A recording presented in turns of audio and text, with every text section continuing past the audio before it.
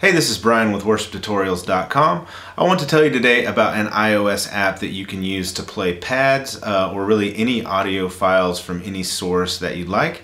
It's called Soundboard Studio Lite, and there's a link below where you can go uh, grab it and download it. It's a free app for any iOS device. So I'm going to show you the screen that I'm looking at right now and you can hear what's coming out of the phone as well. And you can see that I have a nice grid set up with every single key uh, for what you can see are pads number five from Worship Tutorials. Uh, so I'm going to show you how to import pads uh, or any audio file really from multiple sources into this app and set it up to playback with a crossfade and all that goodness, okay? So first thing, uh, across the bottom you see, the first thing is labeled pads 5, but you see board 2, board 3, board 4. This app refer, refers to boards, kind of like uh, playlists, you could think of it that way. So I have the first one set up just all 12 keys and uh, using pads 5 so I can, you know, hit one of them and it will start playing and then I have it set up to crossfade. So it will say I'm going from A to D. I hit the D file or the D pad and it crossfades nicely. Now to stop the file, uh, this bottom button over here that looks like a triangle, that's the fade out button. You hit that, playback will fade out. Okay, so let's look at setting up a, a brand new uh, set, or you're gonna set up new files. Let's go to board number four. Let's say we're setting up for Sunday, and the first song we're gonna do is in the key of A. So to add your first track, just hit the plus button, and you can see you can add it from different services. So uh, select from music is going to be like your iTunes library, whatever you have in the music app on your phone. And then you can uh, get uh, files from Dropbox as well. So I'm going to show you two ways. First one is from music. So it's just going to pull up my iTunes library. I'm going to go to my playlists. There I have pads 5. Uh, let's say our first song's in A. Hit the plus sign, done, in it comes. Okay, so our first song is imported and you'll see all it says is imported track. So if you uh, touch and hold on that, it brings up the menu. You can go to the track name and you can just call it whatever you want. A uh, pads 5 because that's what uh, this track is. You could name it the name of the song that is first, uh, whatever is easiest for you. Now let's say our next uh, song is in the key of D. So, and let's get it from Dropbox this time. So if you hit import from Dropbox, it'll just pop up a menu that'll connect to your Dropbox account. Uh, and then you can find it wherever you have uh, the files in Dropbox uh, on your account. Okay, so I've navigated to where I have all my pads in Dropbox, and let's say we're gonna grab pads two, uh, key of D. There it is, key of D. It's going to create a link and then bring it in. Uh, I found that importing from Dropbox doesn't take nearly as much time as importing from music. I don't know why, but there it is already. And you'll notice when it comes in from Dropbox, it retains the file name. Uh, so I would say Dropbox is my preferred method of importing files, plus it's free.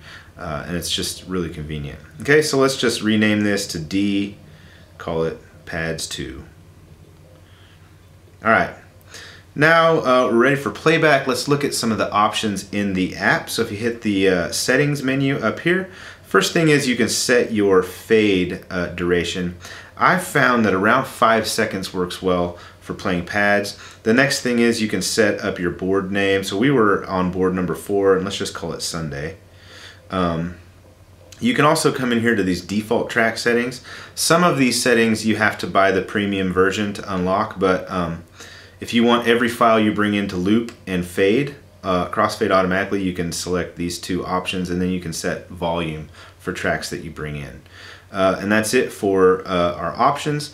Now our individual files also have options. So if you touch and hold, you can set individual volumes. So if you have files from different sources and some are louder than others, you can normalize volumes that way.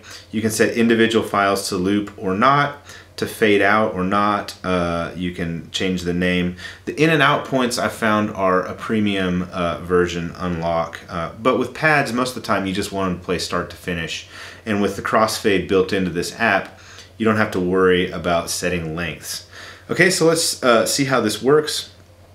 I am going to just hit pads uh, or the, the A pad to start. Let's say we're starting our set. Pad start. We're playing our song in the key of A. Now let's say we get to the end of the song and uh, ready for the key of D pad. We just touch key of D, off it goes.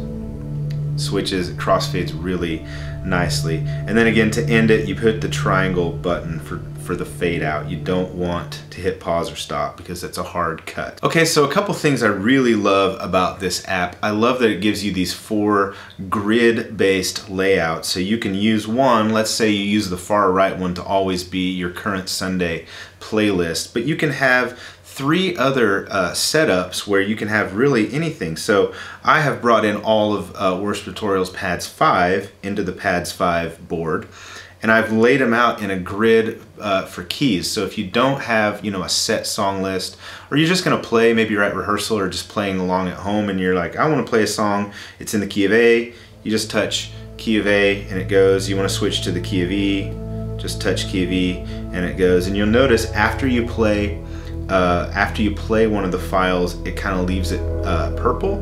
So if you want to see what you've played and what you haven't played, that's a nice visual uh, feedback there. And uh, you can always go back, you know, to a file and play it again. It's really flexible in that regard. You could set up um, another board and use it for bumper music. You could bring bumper music in every key in, so you could just kind of switch between and the pads will keep playing as you switch between uh, boards or the files will keep playing. So really great functionality uh, built into this app. A couple, a couple notes about it. Um, if you are not using the app, uh, if you're not outputting through the headphone out on the app, uh, your the output will be silenced when your phone is silenced. If you do use the headphone out on the app, you can silence your phone and it will still uh, play back audio. One thing is that there's a quirk about this app that I'll demonstrate here. Let's just say we're playing this pad in the key of C and you close the app, it turns off. So you will have to keep this app open. So what I would recommend if you use this app uh, on Sunday morning, connect it to power or just make sure you have a full battery uh, before you start your service. But if you connect to power, you should be good to go. And I would also always put your phone on airplane mode uh, during the service. That way, you're not going to have to worry about a phone call coming in and interrupting your interrupting your service. It's happened before. I can I can I can attest to it. It's happened to me before. So put your phone on airplane mode if you're going to use your phone to play pads. Finally, I'll say this about this video. The reason that I'm making this video and sort of highlighting another app that you can use to playback pads is I have traditionally over the past few years pointed people toward an app called uh, Worship Team Director. Worship Team Director is no longer available. It was made, I believe, by Gateway Church developed it.